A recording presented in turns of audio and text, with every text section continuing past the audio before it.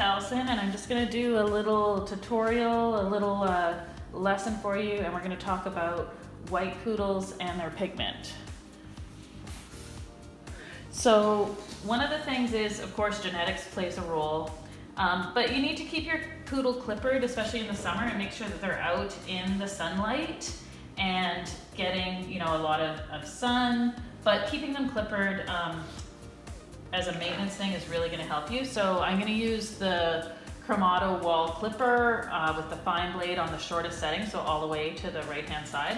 And when you're clipping them, you're just really going against the grain. And you're taking little short strokes and just cleaning out that hair, getting it clipped all nice and even. And you can already see her nice black pigment some people like to put a little bit of baby oil on their skin. Um, it's not going to hurt. If you have a dog that is just freshly cut into pattern or hasn't been in the sun a lot, you know, poodles can sunburn just like people. So you do want to be careful that they're not out in like really hot sun um, for too long, uh, etc. So, you know, half an hour at a time and make sure that, you know, you're always providing them shade. There's also some sun tanning lamps, etc. that you can get. But you can see how nice and even we're just getting this clipper work. You know, if we were clipping her for a show, we might use um, a detachable 40 blade.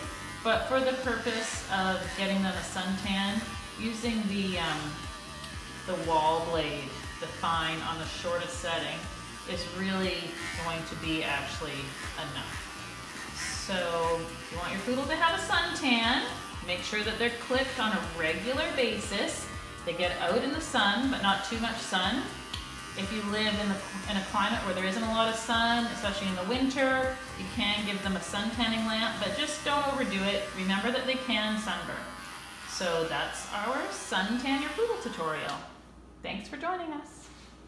Hi guys, I hope you enjoyed today's video. Please give us a like, and if you haven't already done so, you can subscribe to our channel below. Also, check out leadingedgedogshow.academy.com for our premium content. We had a lot of fun bringing you all this information. See you soon.